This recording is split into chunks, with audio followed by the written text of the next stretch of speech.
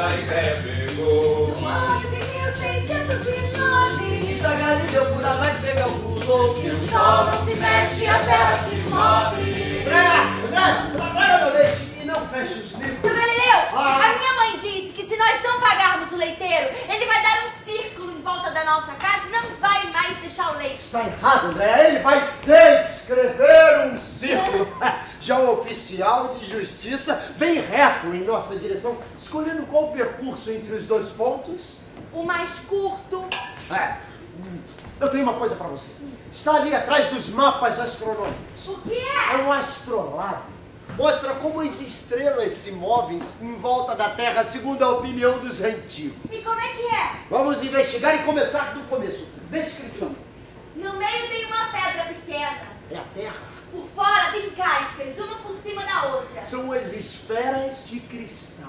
Tem bolinhas pregadas nas cascas. As estrelas. E tem bandeirinhas com palavras escritas. Que palavras? Nomes de estrelas. Quais? A bola mais embaixo é a lua. É o que está escrito. Mais em cima é o sol. Agora faça mover o sol. É bonito. Mas nós estamos fechados lá no meio. Sim, foi isso que eu também senti quando eu vi essa, essa coisa pela primeira vez. Muros, cascas, tudo parado. Há dois mil anos a humanidade acredita que o Sol e as estrelas do céu giram em volta da Terra. Mas agora nós vamos sair, André. Agora é uma grande aventura porque o tempo antigo acabou. Agora é um tempo novo, onde a fé teve mil anos de assento. Sentou-se a dúvida. Minha amiga, tudo se move e as estrelas giram alegremente em volta do sol. E mesmo os príncipes, os cardeais e até o Papa giram com ela. Você finalmente entendeu o que eu lhe expliquei ontem? Não, o quê? Aquela história do que perde e da rotação? Copérnico. Não! Como é que o senhor quer que eu entenda? É muito difícil, eu nem também quero que você entenda. É para que se entendam as coisas que eu trabalho muito. Compro livros caros em lugar de pagar o leiteiro. Mas eu vejo que o sol à noite não está no mesmo lugar em que ele está de manhã. Então ele não pode estar parado. Nunca e jamais. Você vê, o que é que você vê? Eu vejo que Não é nada, você arregala os olhos. E arregalar os olhos não é ver. Vem. Sente-se aqui. Vem. Este é o sol. De que lado o sol está? À sua esquerda ou direita? Esquerda. E como fazer ele passar para o outro lado? Ah, o senhor caminha para o outro lado, é claro? E não tem outro jeito. Não? Não. E agora de que lado o sol está? À esquerda ou direita? Direita. E ele se moveu. Não. O que é que se moveu? Eu. Errado, sua burra, a cadeira. Mas eu com a cadeira. Claro, a cadeira é a terra. Você está em cima dela. Seu Galileu, está aí fora um moço, ele quer aulas particulares, muito bem vestido e trouxe uma carta de recomendação. Ah, Ai, mãe. Com o senhor, a minha Andréia ainda acaba dizendo que 2 mais 2 são 5. Ontem à noite ela me provou que a Terra dá a volta no Sol. Está convencida de que isso foi calculado por um tal de Cipérnico. Oh, oh, é, é cotérmico. Minha Cotérmico. tudo isso. E depois ela vai falar essas bobagens na escola, esses absurdos. E os padres vêm me procurar, porque ela fica dizendo coisas que são contra a religião. Isso devia ter vergonha, seu Galileu. Bem, dona Sorte, com base em nossas pesquisas, Andréia e eu fizemos descobertas que não podemos mais ocultar do mundo. Ah, não diga. Começou um tempo novo em que viver será um prazer. Viver será um prazer. Um prazer. Sei, sei. Eu só espero que nesse tempo novo a gente possa pagar o leiteiro. Ah, mas deixa ao menos acabar meu leite para ele. Bom dia! Parece a casa da sogra. Meu nome é Ludovico Marcilli, O senhor já esteve na Holanda? onde ouvi falar muito no senhor. E como mamãe deseja que eu me oriente um pouco das ciências, As aulas particulares são 10 escudos por mês. É, são 10 escudos por mês. tudo bem. É, quais são os seus interesses? Cavalos. Ia! Nesse caso são 15. Nesse caso são 15. Tudo bem. As aulas são de manhã, Ah, é cedo. muito Tudo sério. bem. Agora o senhor vai precisar de um pouco de paciência comigo, senhor Galileu. Principalmente porque nas ciências tudo é diferente do que manda o bom senso. o senhor veja, por exemplo. Ah, o senhor veja, por exemplo, aquele tubo estranho que estão vendendo em Amsterdã. Eu examinei com o maior cuidado. Um canudo de couro verde com duas lentes, uma assim e outra assim. Mas o tubo aumenta as coisas cinco vezes. Isso é que é a ciência. O que é que o tubo aumenta cinco vezes? Ah, torres de igrejas, bombas, qualquer coisa que esteja louco. O senhor mesmo viu essas coisas aumentadas? Eu mesmo. Esse tubo, ele tinha duas lentes. Eram assim. Exatamente assim. E de quando é essa invenção? Bom, quando eu saí da Holanda não tinha mais que uns dias, ao menos de venda. O senhor sabe, mamãe, acha que um pouco de ciência é necessário. Hoje em dia todo mundo toma seu vinho com ciência. É, mas você poderia ter escolhido teologia. Não, mas é que mamãe prefere... Ou uma língua morta. Não, mas então mamãe... É mais fácil. É mais fácil! Ah! Mamãe queria que eu estudasse ciência. Então, avisa a mamãe e nos vemos terça-feira de manhã. Ia! Nem me olhe dessa maneira, eu vou dar as aulas. Porque você me viu a tempo. Hum, O reitor da universidade está aí fora. Façam entrar! Isso é importante, podem ser 500 escudos, daí eu não vou precisar de alunos particulares. Bom dia. O senhor me empresta meio escudo? Ah, perfeito. Dona Sartre, Ah. mande ideia ao oculista e peça para trazer duas lentes. As medidas e o dia. André! Ai, mãe! Vai agora. Eu vim tratar do seu pedido de aumento. O senhor quer ganhar mil escudos, mas infelizmente o meu parecer não será favorável. A matemática não é uma arte rentável. O cara, com 500 escudos eu não vivo. Senhor Galileu, o senhor tem duas horas de aula duas vezes por semana. E o seu extraordinário prestígio lhe traz quantos alunos o senhor quiser. O senhor não tem alunos particulares? Eu tenho, eu ensino, ensino, ensino. Quando é que eu pesquiso? Homem de Deus, eu não sei tudo. Quando é que tenho tempo? Quando é que faço pesquisa? Se para sustentar a minha casa eu sou obrigado a me dedicar a qualquer imbecil, eia! Desde que tenha dinheiro. Em todo caso, senhor, não se esqueça de que talvez a República não lhe pague tanto quanto certos príncipes, mas garante a liberdade de pesquisa. Veneza é a República onde a Inquisição não manda. E isso tem valor para o senhor, que é astrônomo. Você sugere então que na outra parte a Inquisição reina, queima, arranja assim professores bons e mal pagos. que lhe serve seu tempo de pesquisa se o monge ignorante da Inquisição estiver livre e proibir as suas ideias. Se o senhor quer dinheiro, precisa produzir coisas. Quanto às questões materiais, o senhor faça outra coisinha bonita, como aquele seu excelente compasso proporcional que permite traçar linhas, reduzir os juros, os juros de capital. Uma besteira. O senhor chama besteira uma coisa que encantou e espantou os cidadãos mais eminentes e que lhe deu dinheiro à vista. Talvez eu tenha uma coisa que me interessa. Nesse caso, não vou incomodá-lo mais.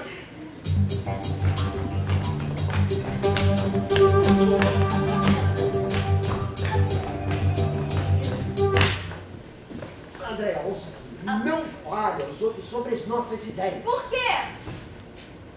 Porque as autoridades proibiram. Mas é a verdade! Mas elas proibiram. Ah. E nesse caso tem mais. Nós, físicos, ainda não conseguimos provar a doutrina de Copérnico é apenas uma hipótese. Mas o senhor provou tudo isso pra mim!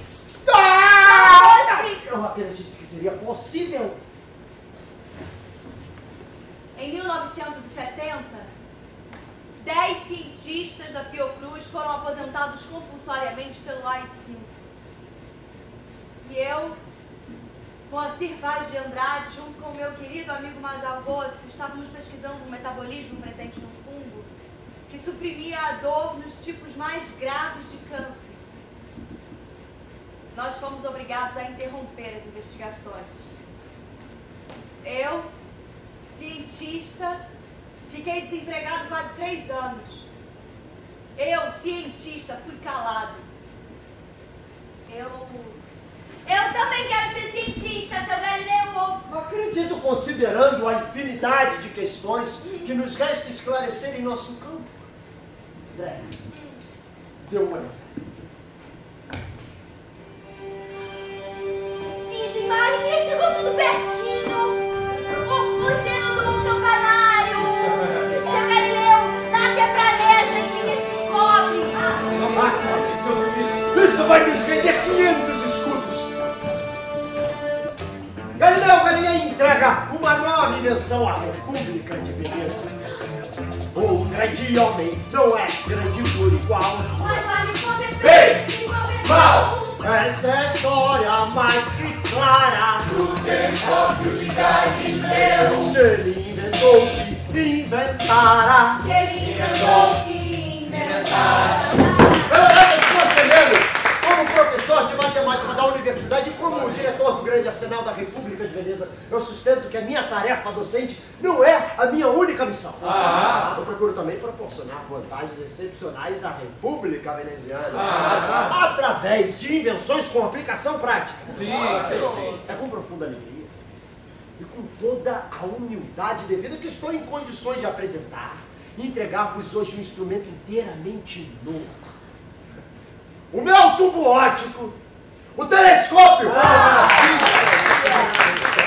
fruto de 17 anos de paciente pesquisa de vosso dedicado servidor. Olha, 17 anos. Corretor, Silêncio, por favor.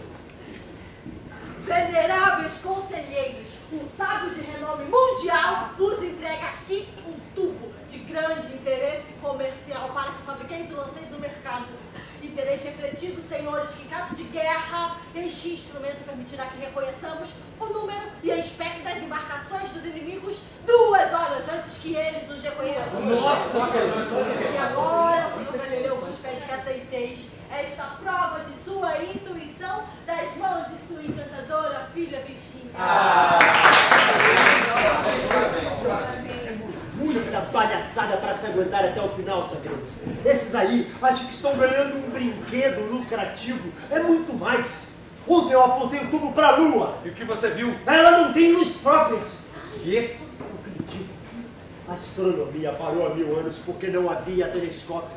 Você sabe do que é feita a Via Láctea? Não. Eu sei. Mas como assim você sabe?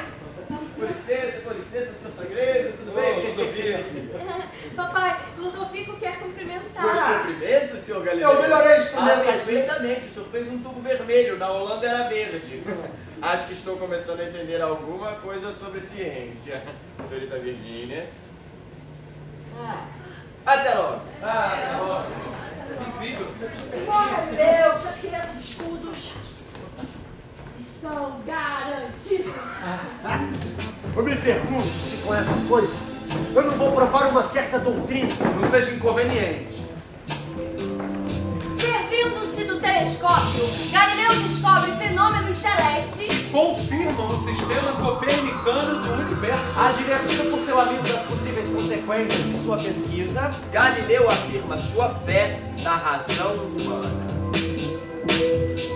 2 de janeiro de 1610 Galileu olhava e via que o céu não existia. Que o céu não existia. Que o céu não existia.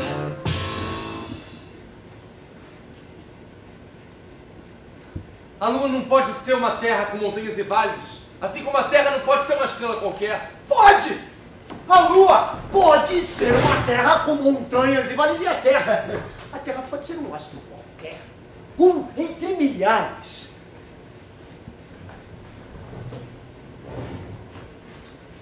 Um cientista se forma à sombra de outro. Meu nome é Hugo de Souza Lopes, eu dediquei a minha vida inteira à formação de novos cientistas. Essa foi a tônica do meu trabalho no Instituto Oswaldo Cruz. Quando eu fui caçado, o meu laboratório foi fechado. Éramos 10 cientistas com seus laboratórios fechados. 10 cientistas impedidos de formar novos cientistas. Não faz 10 anos que em Roma um homem foi queimado vivo pela Inquisição, chamava-se Giordano Bruno e afirmava exatamente isso. Agora é diferente, nós estamos vendo o segredo. Hoje, 10 de janeiro de 1610, a humanidade registra em seu diário. Aboliu-se o céu. O Senhor perdoe a hora. O reitor, O Senhor sabe que seu invento, fruto de 17 anos de pesquisa, pode ser comprado em qualquer esquina da Itália por uma bagatela e que a fabricação é holandesa? Não diga! Eu vou entrar na história como o reitor que caiu no conto do telescópio. Não tem por que rir. Agarrou seus 500 escudos. Mas eu lhe digo uma coisa e é um homem honesto quem diz. Este mundo me dá nojo! você desse instrumento É holandês? claro que sim, de ouvir dizer. Mas o aparelho que eu fiz para esses imbecis do conselho é muito, é muito melhor, segredo. Bem, eu quero que você veja outra coisa. Eu tenho medo, Galileu. Olhe, é Júpiter. Junto dele tem outras quatro estrelas menores. Eu as vi na segunda-feira ontem, eu olhei de novo. Eu posso jurar. Elas tinham mudado de lugar. Olhe você. Eu tô melhor. Eu vejo três. A quarta, onde está? A quarta só pode ter ido para trás de Júpiter, aonde não pode ser vista. Aí está! Uma estrela que tem outra girando à sua volta! Mas e a esfera de cristal em que Júpiter está fixado? Não há esfera de cristal! Que não há suporte no céu. Como assim não tem suporte? Não há ponto fixo no universo! Então, Fala você- aí pra que você- não você- vai você- caber você- história dela. Eles tinham razão. Quem? Os copernicanos? E Jordano Bruno. Olha! O mundo inteiro estava contra eles, mas eles tinham razão. André que vai gostar de saber. Dona Dona- perdeu o juízo. Não percebe a situação em que fica se for verdade o que está vendo?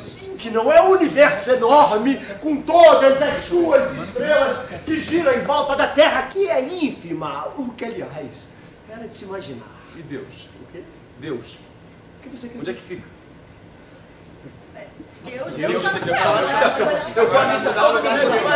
Não. não tá. Então onde é que fica? E eu sou teólogo. Eu sou matemático. Antes de tudo, você é um homem. E eu pergunto, onde está Deus no seu sistema de mundo? Em nós ou em lugar algum. A mesma fala do queimado vivo. A mesma fala do queimado vivo. Eu que não vou ficar aqui. Por isso ele foi queimado não faz 10 anos. Ele não tinha como provar nada, segredo. Mas isso faz alguma diferença? Faz toda a diferença, Dona Sartre! Faz toda a diferença. Veja você, eu acredito na espécie humana. Isso quer dizer que acredito em sua razão. Dona Sartre! O senhor quer alguma coisa, seu Galileu? Eu quero, eu quero André. Andréia, É. minha filha está dormindo. Você não pode acordar. O senhor está precisando dela. É, eu quero mostrar uma coisa que ela vai gostar. Uma coisa que fora nós ninguém nunca viu desde que existe a Terra. É esse tubo acabado. É o meu. Eu me lembro como se fosse ontem, do dia em que fomos caçados. Eu estava no meu laboratório e um rapaz chegou dizendo: Doutor Periceu, o senhor não sabe o que aconteceu. O que, rapaz? Quem morreu? Os senhores foram caçados. Deu no rádio.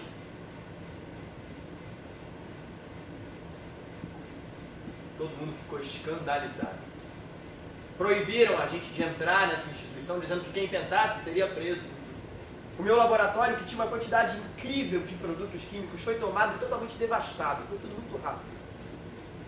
Mas ao contrário de alguns colegas que também foram caçados nesse dia, eu tive sorte. Porque no caminho da saída, eu encontrei parte do meu material na lixeira. Então eu fui lá e tomei de volta. É o meu tubo, Dona Sartre. Ai, por causa disso eu vou acordar a menina no meio da noite. O senhor está bom da cabeça? Mas nem por sonho que eu vou acordar a menina. Então talvez a senhora mesma nos ajude. A senhora veja, nós temos uma questão aqui que não conseguimos chegar a um acordo. Talvez porque lemos livros demais. O que é mais provável? Que o grande, o grande, o grande gira em torno de um pequeno, hum, ou, ou que um pequeno gira em torno de um grande, assim.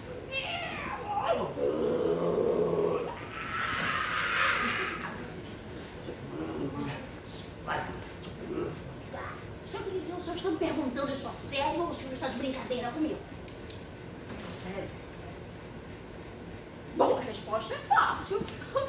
Sou eu quem traz a comida pro senhor ou é o senhor que traz pra mim? É você quem traz. Ontem estava queimado, o gosto horroroso Ah, por que queimou? Porque o senhor me pediu os sapatos enquanto eu estava cozinhando. Então, eu- não fui eu quem trouxe os É sapatos. provável. Porque foi o senhor quem estudou e é o senhor quem pode pagar. Eu vejo de modo que não há dificuldades. Bons dias, dona Sartre. Muito obrigado pela ajuda. Bons dias, dona Sartre. Bom dia, senhora. E gente assim não havia de entender a verdade. Bom dia, papai. Virgínia, minha filha, já está de pé. Sim, eu vou à missa das seis com Dona Sartre. É, Ludovico também vai. Como foi a noite? Clara! Ah, o senhor viu mais coisas novas no céu. Só umas noites do lado de uma estrela para as quais eu preciso achar um jeito de chamar a atenção. Eu acho que vou batizar as estrelas mediceias em homenagem ao grão-duque de Florença, Cosmo de Médici. Virginia, uma coisa que é do seu interesse. Provavelmente nos mudaremos para Florença. Eu vou escrever uma carta para o A grão-duque. corte! Ai, se vamos para a corte. Abaile-se, abaile-se. Eu preciso de um vestido, dona Sá. Galileu, Eu preciso ser, Glória! E na corte eu terei tempo para elaborar as minhas provas, porque ainda não há prova nenhuma de que algum corpo celeste gira em torno do Sol. Galileu, não vá para Florença, Por que não? porque lá os padres mandam. Na corte de Florença há sábios de grande reputação, sagredo. Lacaios, Então eu vou pegá-los pela cabeça e vou enfiar o olho deles no telescópio para que eles vejam. é uma noite desgraçada, o momento em que o homem vê a verdade. É de cegueira que ele acredita na razão da espécie humana. Você acha que o Papa abre o seu diário e escreve: 10 de janeiro de 1610, aboliu-se o céu. Você é crédulo como uma criança. Não vá para Florença. Se eles me aceitarem, eu vou.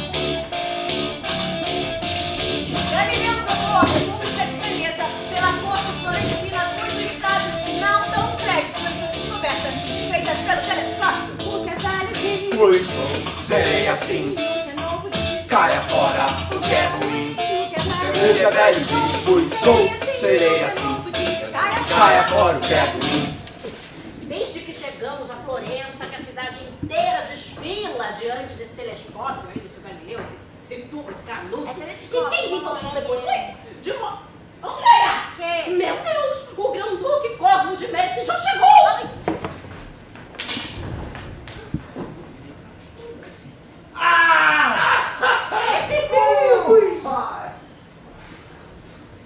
Eu quero ver o telescópio. Onde está? Ah, está lá em cima, no quarto de estudos.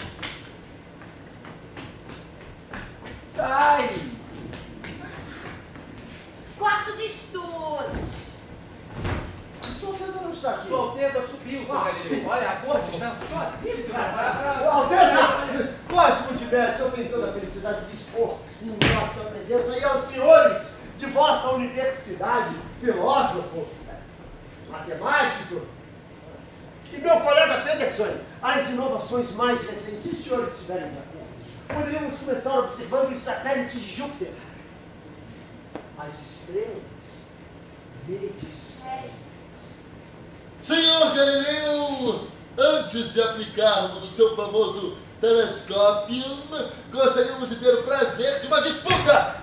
Assunto. eh, O que vamos falar mesmo? Será, será possível que tais planetas existam? Hã?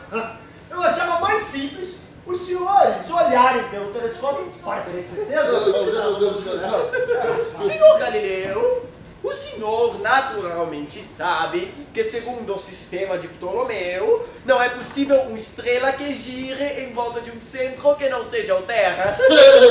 Assim como não é possível uma estrela sem suporte nascer. E mesmo sem considerar a possibilidade de tais estrelas, que ao nosso matemático parece duvidosa, eu gostaria de perguntar com toda modéstia, e como filósofo, seriam necessárias tais estrelas? O universo quer crescer mal, Só possível, poderíamos voltar à língua comum. O meu colega, o senhor Pedersoni, não entende o latim. E é importante que ele nos entenda. É, Eu pensei que o senhor Federson fosse um operário, um polidor de lentes. O senhor Pedersoni é um polidor de lentes e é um estudioso também. O argumento perderá em brilho, mas a casa é sua. Ah, Ei, Enfim, por favor. O universo do divino Aristóteles, com suas esferas misticamente musicais, e suas abóbadas de cristal, ah, e o movimento circular de seus corpos formam uma construção de tal ordem e beleza que deveríamos hesitar muito antes de perturbar tal harmonia. Não seria o caso, Vossa Alteza, de dizer que é duvidosa uma telescópia no qual você vê o que não pode existir? Ah, senhor, a disputa está perdendo sentido. Senhor Basta que os senhores... Seria possível dizer ainda que o que está no seu tuba e o que está no céu são coisas diferentes. Ah? Ah, O senhor está insinuando então que as estrelas mediceias estão pintadas às vezes? O senhor está me acusando de fraude. Mas de maneira alguma, em presença de Vossa Alteza, e estamos inteiramente convencidos, senhor Galileu, de que nem o senhor, nem ninguém ousaria dar o nome da casa reinante a uma estrela cuja existência não estivesse acima de qualquer dúvida. Qualquer Qualquer Aconteceu dúvida. alguma coisa com as Alteza. Peço recordar que dentro de instantes terá início baile. Que O baile? baile da cor!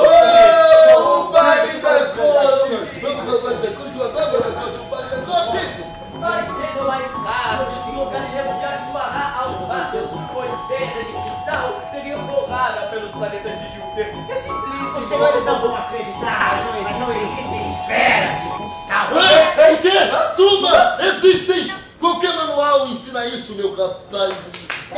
meu caro, é hora de escrever manuais novos. Alteza, eu e meu ilustre amigo nos apoiamos na autoridade de Aristóteles. Aristóteles não tinha telescópio. Mas é claro que não. É claro que não. Eu vou pegar essa telescópio. Você está destruindo o lado. Vamos lá. Mas esse grupo, e começa Traduzindo. Aonde iremos parar? Como cientistas, não temos que perguntar aonde a verdade nos leva, senhor Galileu. A verdade, senhor Galileu, pode nos levar a muitas partes. Muitas partes. Senhor Galileu, esta conversação vocês têm ido um pouquinho demais, não é? Sua Alteza precisa repousar, repousar antes do baile. Repousar, repousar. Basta que eu...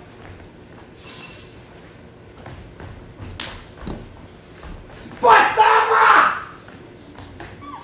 Dos senhores!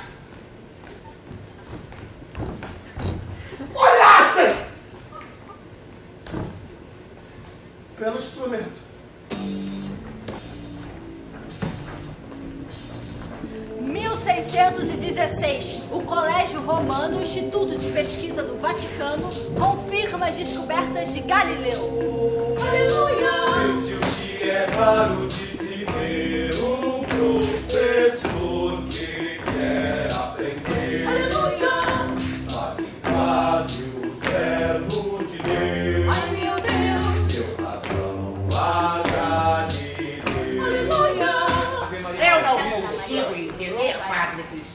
Claro! Se fôssemos acreditar em tudo que se disse nos últimos 50 anos, é razão para duvidarmos das estrelas imutáveis. Mas inúia, Tiago. Eles ainda põem abaixo o nosso céu de estrela, não? Para Padre Cristóvão Clávio, o maior cientista da Itália e da Igreja, dando atenção a uma coisa dessa. Ave Maria. Flávio e os outros ainda estão lá dentro? Dizem que o tal de Galileu transferiu o homem do centro do universo para algum lugar na periferia. Ah, está claro, portanto, que ele é um inimigo da humanidade. Senhor, o homem está na sala. Que? Olha lá. Ah,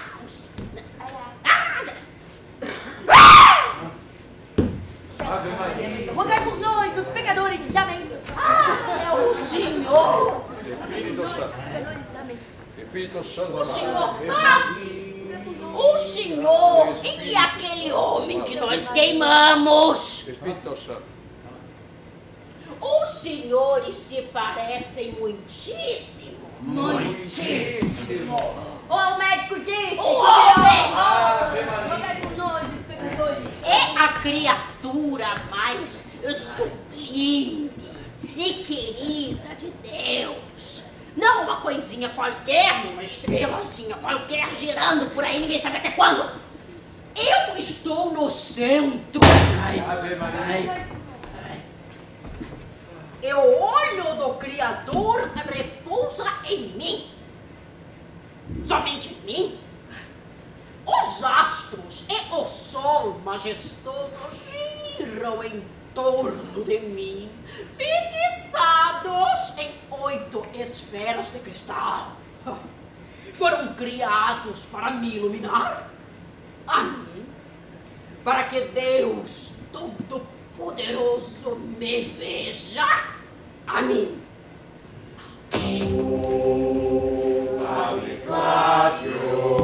Galileu está certo. Vamos abordar! Vamos! Então, não uma decisão. A decisão é que o senhor vai para casa. Para ele. Eu exijo fogueira. Senhor Galileu, Padre Flávio, antes de sair, ele disse: Agora chegou a vez dos teólogos, eles que têm um jeito de recompor o céu. Todos devem ter direito a uma vida digna, com liberdade para escolher, falar o que pensam, fazer o que querem e gostam. Eu, Tito Arco Verde, eu podia me aposentar, eu já tinha 40 anos de serviço, mas eu pensei, eu não me aposento. Vou cair, mas vou cair em pé. Eu fui caçado. Eu nunca mais voltei a Fiocruz até 1986, quando fomos reintegrados. O senhor venceu! Não fui eu, foi a razão que venceu. Sua Eminência, o cardeal inquisidor. 5 de março de 1616, a Inquisição põe a doutrina de Copérnico no índex, índice dos livros proibidos. Olá, cardeais,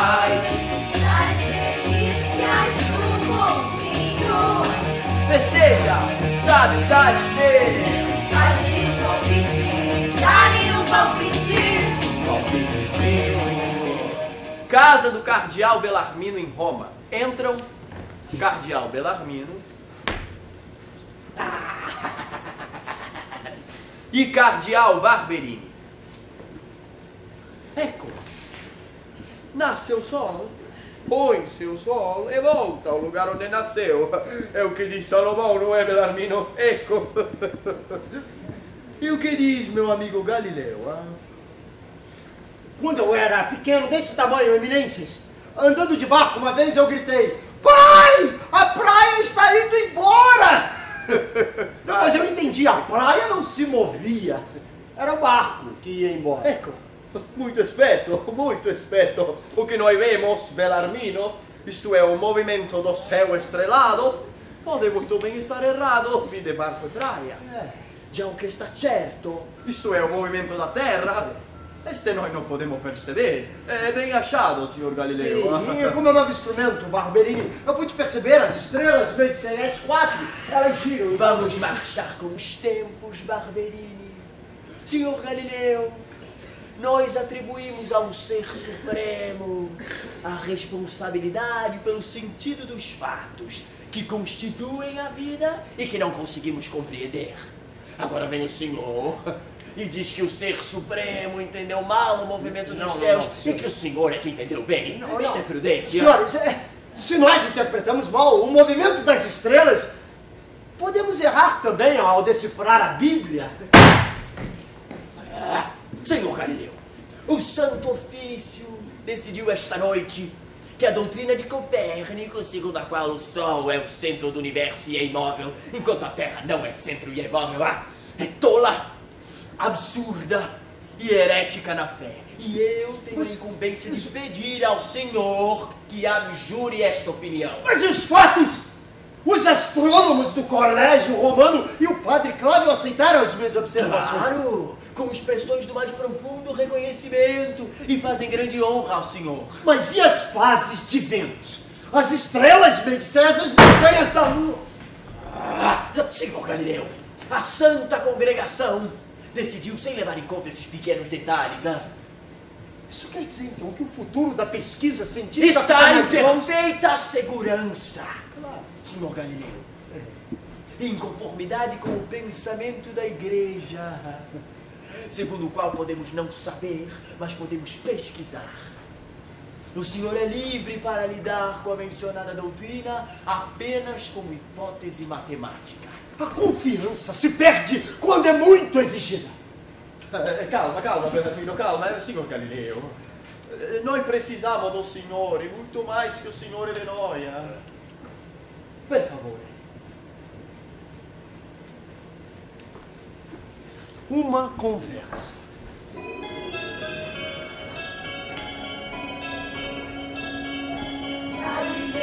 A ciência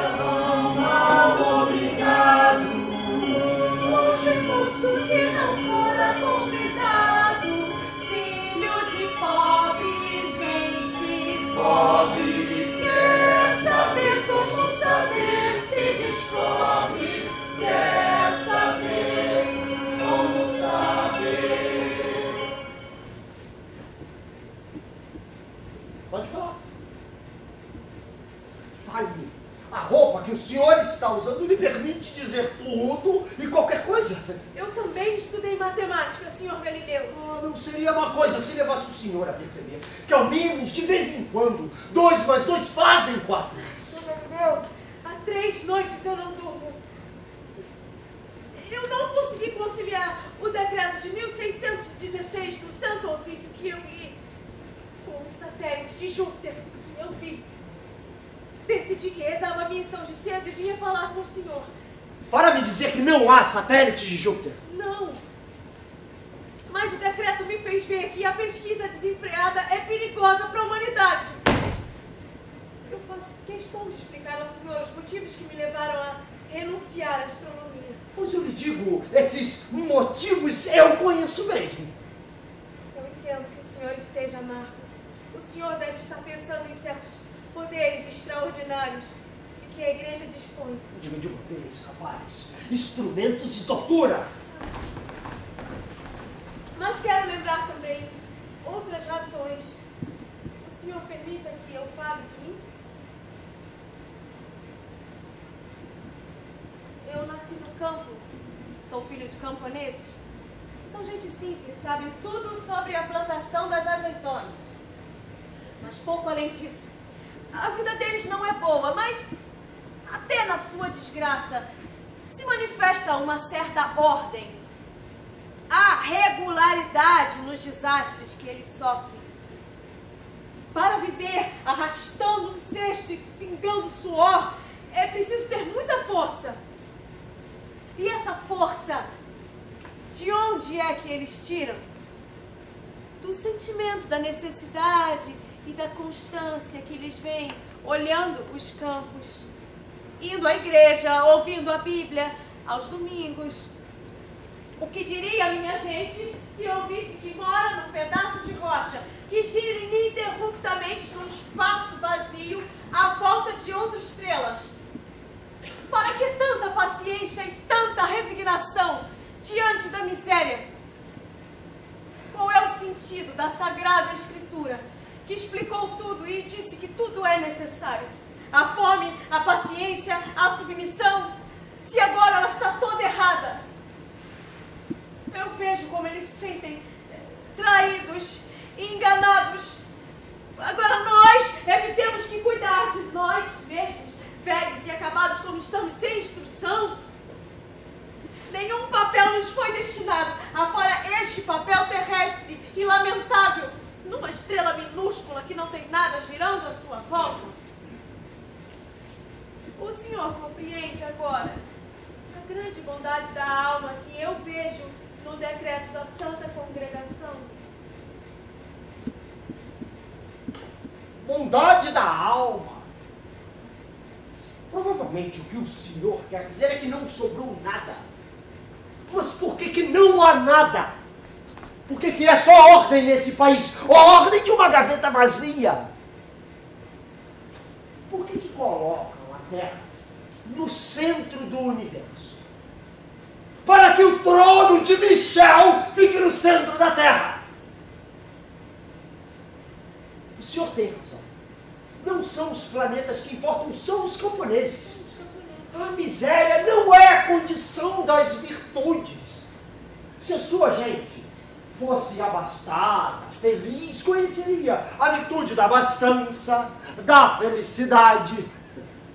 Meu caro, as minhas novas bombas d'água fazem mais milagre do que a sua ridícula trabalheira sobre-humana. Crescei e multiplicai. Por quê? Os campos estão estéreis e a guerra vos dizima.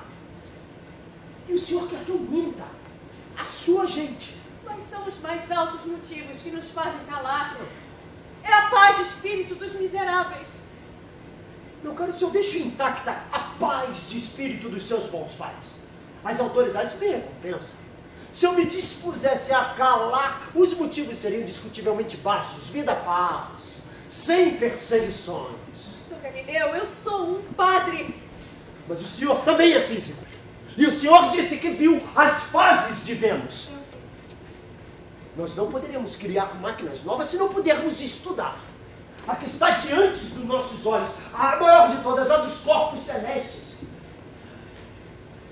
A soma dos ângulos de um triângulo não pode ser alterada segundo os interesses da igreja.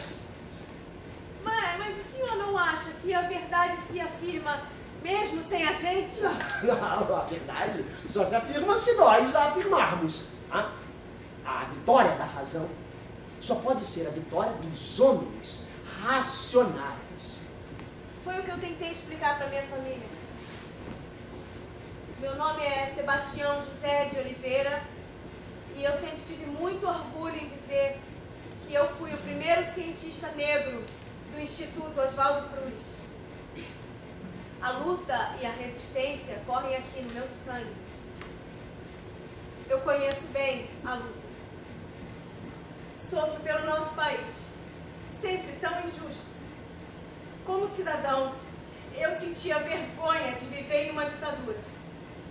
Mas como cientista, eu sei. A vitória da razão só pode ser a vitória dos homens racionais. De algo eu vejo a paciência divina da sua gente, mas e a fúria divina? Onde está? É gente cansada! Meu filho, você é físico. Aqui está a razão dos movimentos do mar. As enchentes, as vazantes, está tudo aqui, mas o senhor não deve ler. Não, o senhor não deve ler. Olha.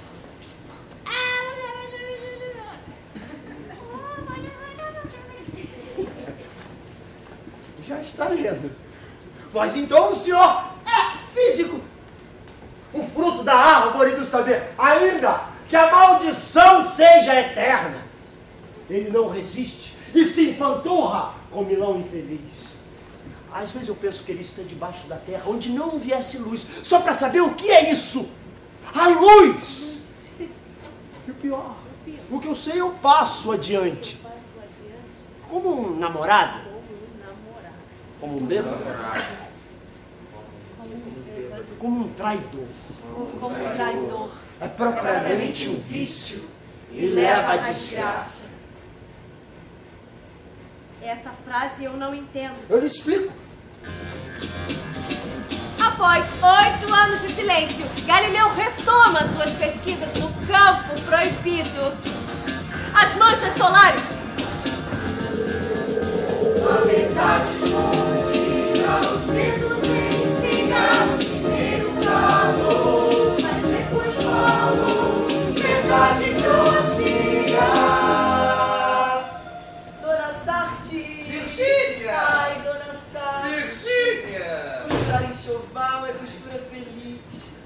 Precisaremos de toalhas bem grandes. Ludovico gosta de convidados. Ah, e com muito capricho, porque a mãe dele não deixa escapar nada. Ela não concorda com os livros de papai. Ih, faz tempo que ele não escreve mais livros. Bom, vai ver que me conhece que se enganou. Virgínia, Hum. eu queria falar com você sobre o seu casamento. Você é tão moça, minha filha. Mãe você não tem. O seu pai fica colocando esses pedacinhos de gelo para boiar. Eu, aliás, nem aconselho a você a falar com ele essas coisas de casamento. Fico pensando no que vai ser no futuro. Um passo sério como esse não se dá no escuro. Eu acho que você devia procurar um astrônomo de universidade e pedir o teu horóscopo. Assim você sabe o que vai ser, menina. Por que você tá rindo? Porque já estive lá. O que ele disse? Bom, Nos primeiros três meses, preciso tomar cuidado, porque o Sol vai estar em Capricórnio, sim. Mas depois, apanho um ascendente favorável e as nuvens se dissipam, graças a Ai, Deus. graças a Deus. Buonasera. Quem é? O reitor de Pisa. Senhor Gafone. Ah, E eu vim trazer um livro que talvez interesse a tu, padre, ah? Pelo amor de Deus, eu não quero incomodar.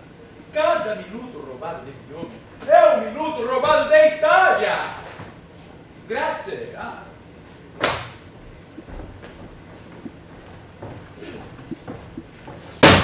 Do que se trata? Ah, eu não sei, é dermapulizensores. Marcos, é sobre as manchas solares.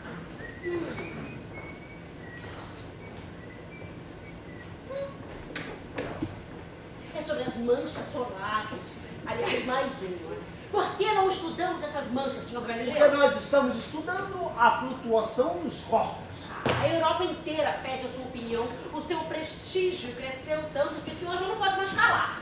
Roma deixou meu prestígio crescer porque eu calei. Ah, mas agora o senhor não pode mais se dar ao luxo de ficar calado. Ah, Eu também não posso me dar ao luxo de ser assado no fogo como se eu fosse um presunto. Tá bem, vamos ficar então com a flutuação dos corpos. Porque essa não faz mal ao senhor, não é? Ei, Ah, Quem é? Ludovico. o senhor não está reconhecendo ele? Sim, Ludovico, os cavalos, como vão? Vamos ver, meu senhor! Agora sabe que nós vamos festejar. Traga uma garrafa do vinho siciliano. Do vinho siciliano. É isso, do velho. Virgínia, você está pálida. Está a vida no, no campo vai lhe fazer bem. Mamãe a espera em setembro. Um minutinho só que eu lhe mostro o véu de noiva. Sente-se. Você passou por Roma? Passei. Roma já tem assunto para o mês de fevereiro. Obrigado. Os cardeais receiam que o velho pandemônio de terra em volta do sol recomece, não é? Por conta das, das manchas solares. Não se preocupe. E que outras novidades da cidade santa fora a esperança que eu volte a pegar? Naturalmente, os senhores sabem que o Papa está morrendo. Ah, Quem é o sucessor provável? Fala-se em Barberini. Barberini? O senhor Galileu conhece Barberini. O cardeal Barberini é matemático. Cientista no santo trono. Olha só, agora eles precisam de homens como Barberini, que tenham lido um pouco de matemática. As coisas estão entrando em movimento, gente. Beethoven talvez chegue um tempo em que não será preciso se esconder como um malfeitor para dizer que dois mais dois são quatro. São quatro. o senhor vai voltar a mexer com essas coisas do diabo. Agora eu sei porque a sua mãe o mandou, Ludovico. Ah, é? Barberini será papa. Hã? O saber será uma paixão, a pesquisa uma volúpia. O padre Cláudio tem razão. Essas manchas solares me interessam. Me interessa. Me interessa também. Você, Ludovico, você gosta do meu vinho? Você aceitaria mais vinho ou a filha de um homem sem pedir que ele se aposente de sua profissão? O que tem a ver a minha astronomia com a minha filha? As fases de Vênus. Não altero o traseiro dela! Mas o senhor é muito ordinário. Eu vou trazer a Virginia imediatamente. Em famílias como a minha, os casamentos não se dão apenas pelo ponto de vista dos sentidos. Fizeram com que você esperasse oito anos para se casar com a minha filha, para ver se eu me comportava bem. De certa maneira, Fulgêncio Pedersen, vamos buscar o espelho de latão e o anteparo. Nós vamos projetar a imagem do sol numa tela mas para proteger nossos muito olhos. tempo o senhor assinou em Roma que não participava mais dessa história de terra e sol. Olha, naquela época nós tínhamos um papa retrógrado. Tínhamos, a sua santidade ainda não morreu. O novo Papa, ele deverá levar em conta, caso a sua santidade morra, ele deverá levar em conta o amor que lhes tem as famílias mais importantes desse país. Ô, Ludovico, Deus fez o mundo físico. Deus fez o cérebro humano. Deus há de permitir a física. Galileu, eu vou lhe dizer uma coisa. A Vem aqui, vem aqui, vem aqui. A minha filha caiu em pecado por causa dos seus experimentos, das suas teorias, das suas observações. Eu não pude fazer nada. Agora, agora, se eu perco a felicidade eterna, porque eu passei a minha vida inteira ao lado de um herético, o problema é meu. O senhor não tem o direito de sapatear a felicidade da sua filha com esses seus pés enormes.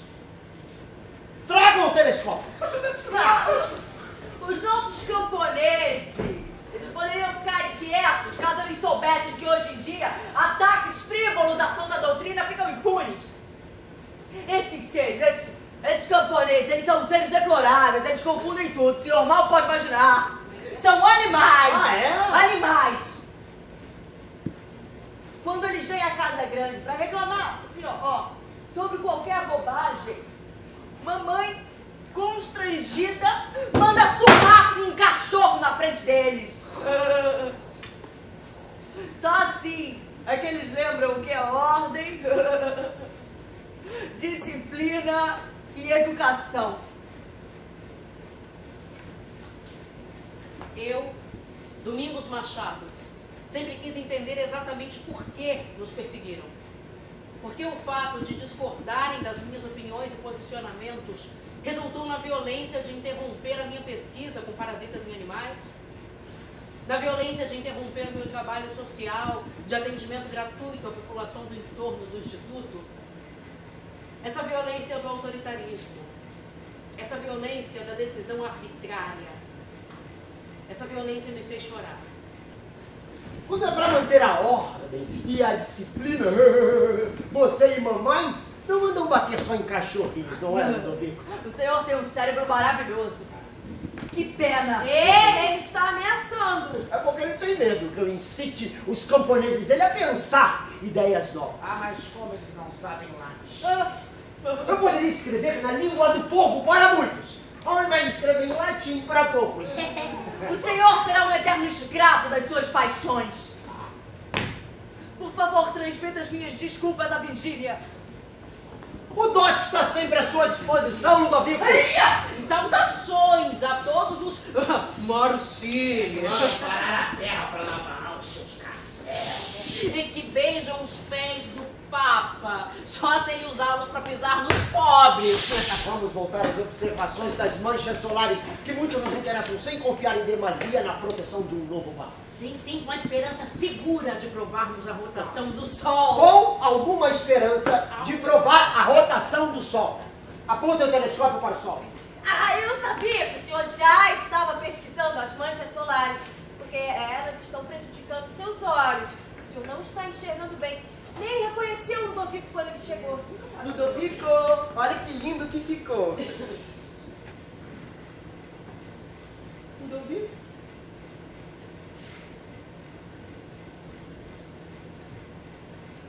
O senhor mandou o Ludovico embora, não foi, papai?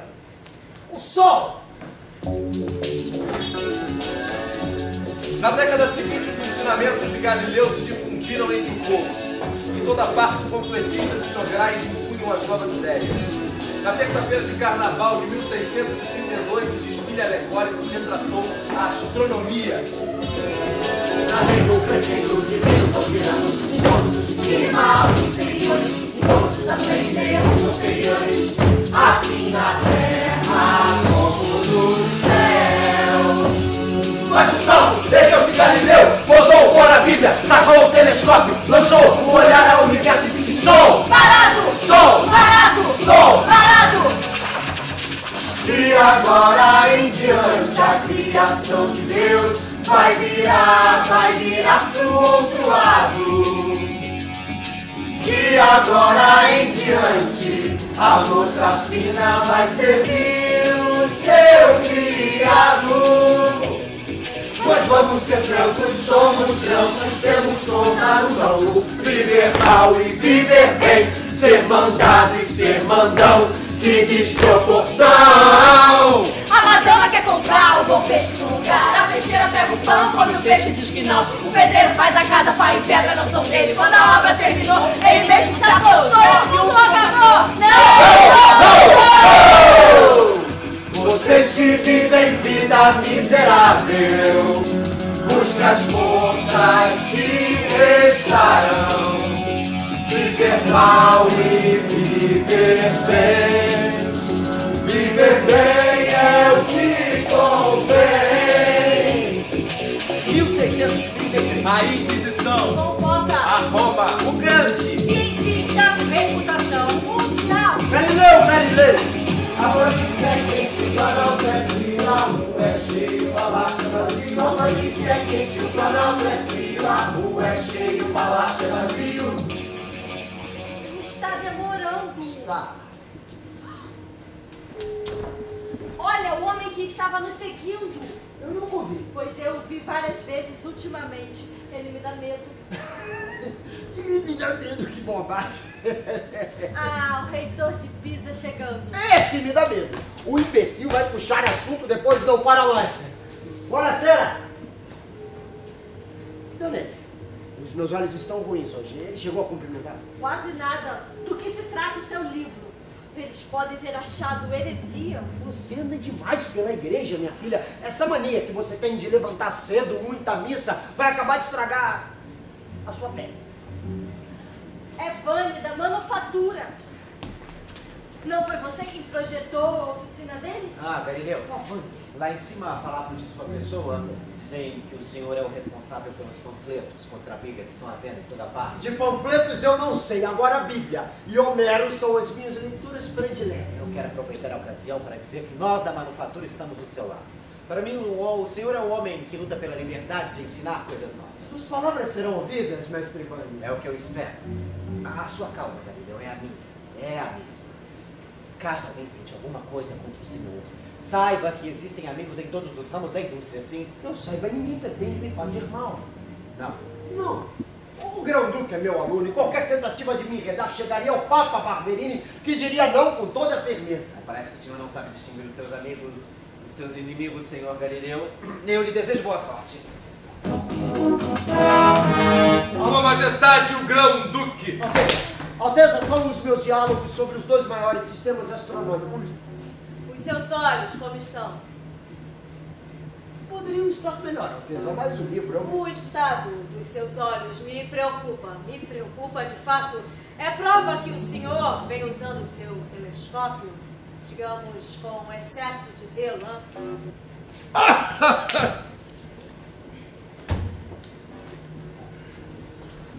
Ele nem pegou o livro, você viu? Por cardeal inquisidor. que faz cardeal em Florença, pai? Eu não sei. Eu estou com medo. Esconda o sentimento.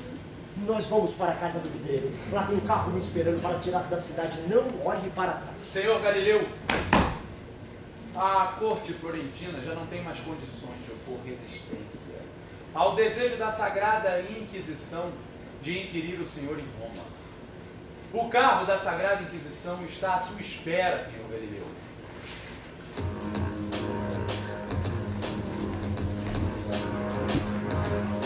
O Papa! Aposento do Vaticano, o Papa Urbano VIII antes Cardeal Barberini. O Papa! Encontra o Cardeal Inquisidor. Não, não, não, não, não e não. Portanto, sua santidade vai dizer a totalidade do clero que a Sagrada Escritura não pode mais ser dita verdadeira. E eu não vou deixar que rasguem a matemática. Não é de matemática que se trata. Esse homem ruim sabe o que faz quando escreve os seus trabalhos não em latim, mas na língua do povo. Ecco, isto é prova de muito mau gosto. E eu vou dizer a ele, ah? Vocês têm ideia do que são 39 anos dedicados a uma instituição? O meu nome é Herman Lent e eu entrei aqui no Instituto Oswaldo Cruz com 20 anos, ainda estudante. E um dia fui impedido de trabalhar, porque a ditadura militar, que tinha tomado o poder por meio de um golpe, decretou que eu e mais nove colegas estávamos caçados. Coleções científicas valiosas foram jogadas no lixo e equipamentos caríssimos descartados. Foi um verdadeiro massacre. O massacre de Manguinhos. As cidades marítimas pedem os mapas celestes de Galileu com urgência por causa dos navios. Vai ser preciso ceder, são interesses materiais. O homem é o maior cientista de nosso tempo à luz da Itália. Ele tem amigos influentes, vão dizer que a Santa Igreja é uma fossa de preconceitos apodrecidos. Não, não ponho a mão Na nele. prática não será preciso ir longe. É o homem da carne. Ele cederá imediatamente. Mas eu permiti o livro dele. Desde que dissesse que a palavra final não era da ciência, mas da fé. Ele cumpriu o trato. Mas de que maneira? No livro dele argumentam dois homens. Um estúpido, que naturalmente defende as ideias de Aristóteles. O outro inteligente, que naturalmente defende as ideias do senhor Galileu. Na boca de quem está a palavra final, sua santidade? Quem diz a nossa palavra? Não é o homem inteligente. Ma che impertinência! Ecco, o extremo dos extremos é que ele mostre os instrumentos de tortura. Será suficiente. O senhor Galileu entende de instrumentos. Diante da Inquisição de 22 de junho de 1633, Galileu renega sua doutrina do movimento da Terra. Dia de junho de importância capital, razão e povo se cruzaram, por pouco não casaram, mas ninguém notou, pois nada mudou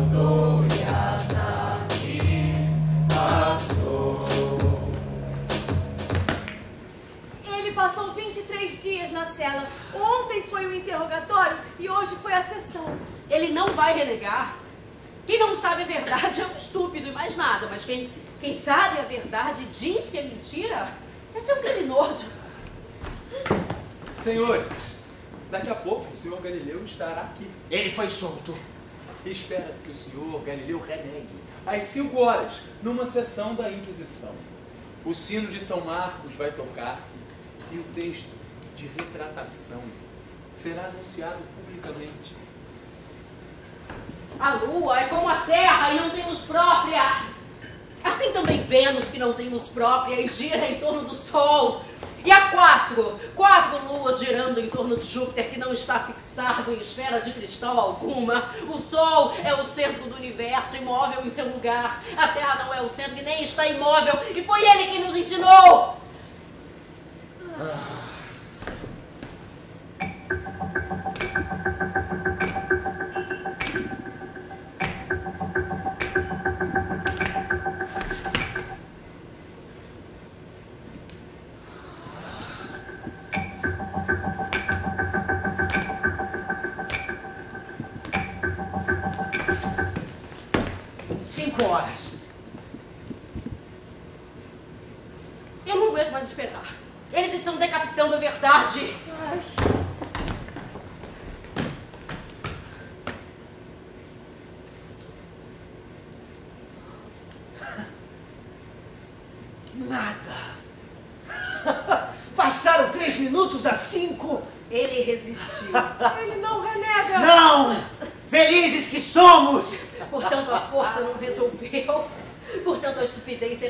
vencida. Portanto, o homem não teme a morte.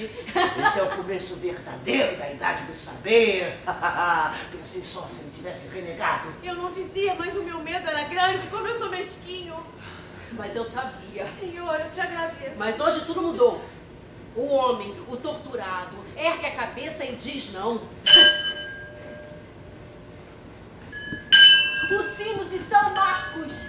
Ele não foi excomungado. Graças a Deus. Eu, Galileu Galilei, professor de matemática e física na Universidade de Florença, abjuro o que ensinei. De coração sincero e fé não fingida, nego Detesto e maldigo estes enganos e estas heresias, assim como quaisquer outros pensamentos contrários à Santa Igreja.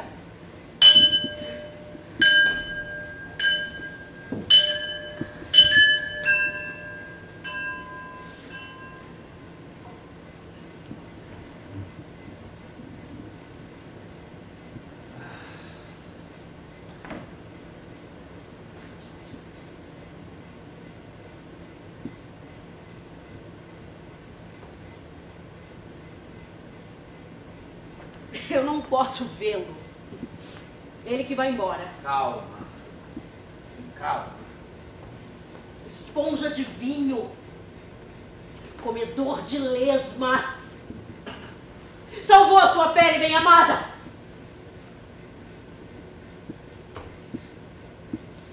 Infeliz da terra que não tem heróis. Não. Infeliz é a terra precisa de heróis.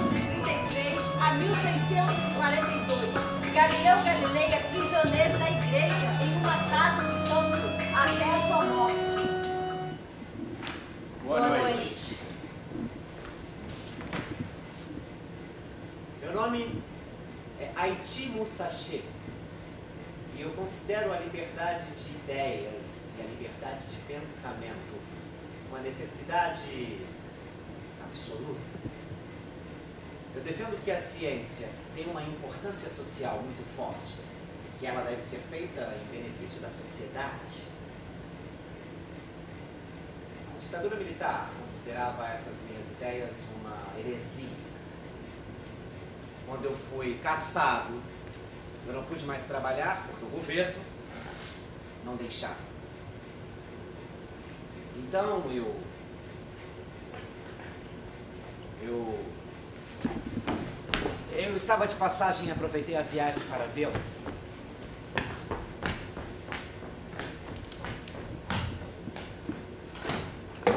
Andréia, É, você quer que ela vá embora? mande entrar. Não tem perigo, foi a aluna dele.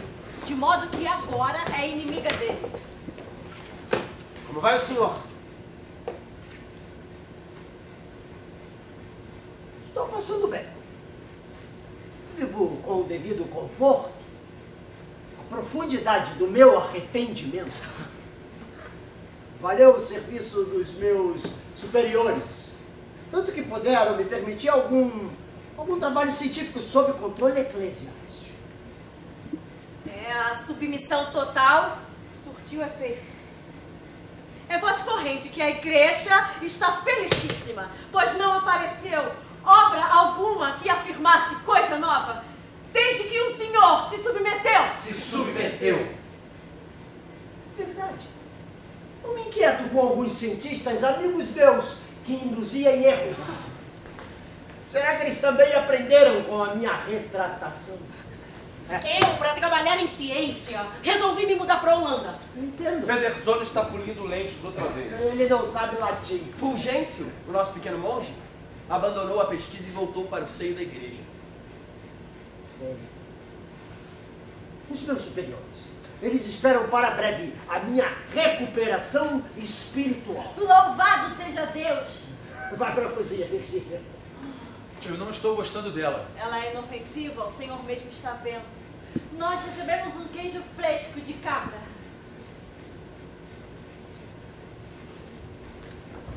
André, eu vou, André, eu voltei a escrever. Ah, é? Eu terminei os escorços.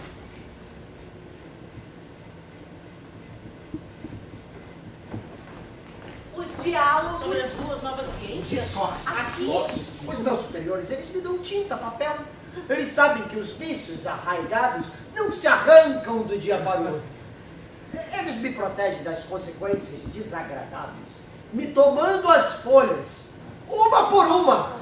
Os discorce na mão dos padres. Dois ramos novos da ciência é a mesma coisa que perdidos. Eu fiz uma cópia. Deve ser animador saber que eu pus em jogo os últimos restos do meu conforto para fazer uma cópia. O senhor tem uma cópia? Onde está? está? Está aqui. Eu precisava empregar o meu tempo em alguma coisa. Os discorce. O meu propósito é expor uma ciência novíssima. Que trata de um assunto muito antigo. O movimento. Através de experimentos, descobri. Algumas de suas propriedades E que são são dignas dignas de serem conhecidas. Isso vai fundar uma nova física. Esconda, esconda logo. E eu achando que o senhor tinha desertado. A minha voz era que gritava mais alto contra o senhor. Contra o senhor. Era assim que tinha que ser. Eu lhe ensinei ciência e eu abjurei a verdade. Não, isso muda tudo. Tudo. O senhor escondeu a verdade diante do inimigo. Até no campo da ética, o senhor estava séculos adiante de nós. Explique isso, André. Senhor Galileu, o senhor conquistou o sossego necessário para escrever uma obra de ciência que ninguém mais poderia escrever. Se o senhor tivesse acabado em chamas na fogueira, eles é que teriam vencido. Eles venceram. E não existe isso de obra de ciência que somente um homem possa escrever. Então por que o senhor abjurou?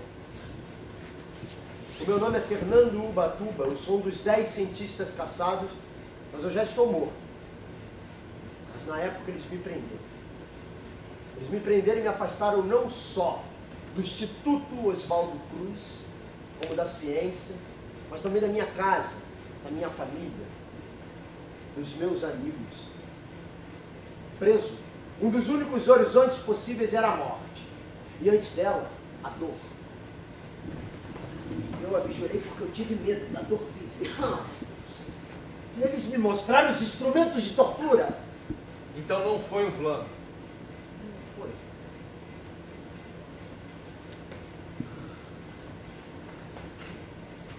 O medo da morte é humano. Fraquezas humanas não tem nada a ver com ciência. Não, minha querida Andréia. Em minhas horas de lazer, eu repassei o meu caso. E pensei sobre o que o mundo da ciência, de que eu mesmo não me considero mais parte, deverá fazer a meu respeito. A prática da ciência me parece exigir uma notável coragem. Ela negocia com o saber obtido através da dúvida, negociando o saber a respeito de tudo e para todos. Ela procura fazer com que todos duvidem. A miséria de muitos é velha, como as montanhas, e segundo os púlpitos e a igreja, é indestrutível como as montanhas. O nosso recurso novo, a dúvida, encantou o grande público que arrancou o telescópio de nossas mãos para apontá-lo para os seus carrascos. Seremos ainda cientistas se nos desligarmos da multidão? Eu sustento que a única finalidade da ciência está em aliviar a canseira da existência humana. Intimidados pela prepotência dos poderosos, acham que basta amontoar saber por amor ao saber? A ciência pode ser transformada em um monstro. E suas novas máquinas serão novas aflições, nada mais. Com o tempo, o precipício entre vocês e a humanidade crescerá tanto que um grito alegre de vocês ou o grito de quem descobriu uma coisa nova responda a um grito universal de horror. Além do mais, Andréia, eu cheguei à convicção de que nunca estive em perigo real. Durante anos a minha força era igual à da autoridade e ainda assim eu entreguei o meu saber aos poderosos para que eles usassem, abusassem, não usassem conforme lhes conviesse. Eu traí a minha profissão. E um homem que faz o que eu fiz não pode ser admitido às fileiras da ciência. O senhor foi admitido às fileiras da religião. Aleluia! Agora eu preciso comer. Então o senhor não acha mais que uma nova era tenha começado? Acho, acho sim. E você, tome cuidado ao atravessar a Alemanha com a verdade escondida.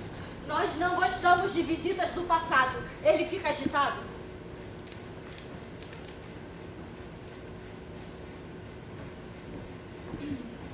Virginia, como está a noite?